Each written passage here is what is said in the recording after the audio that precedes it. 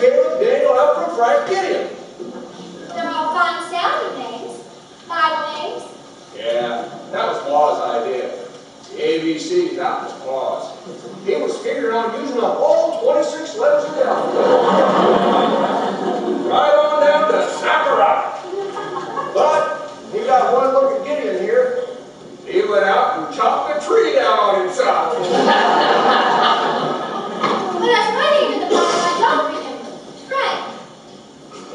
not his real name. We just call him that for short, Delvin Frank.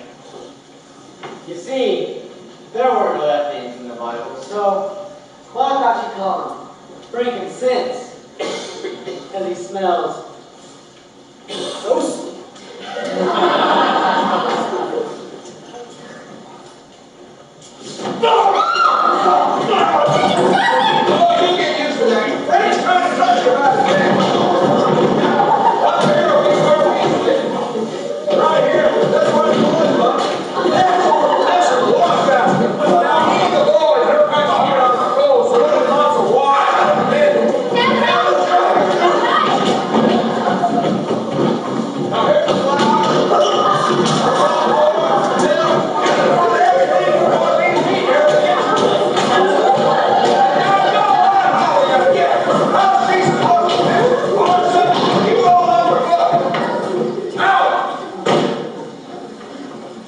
continue to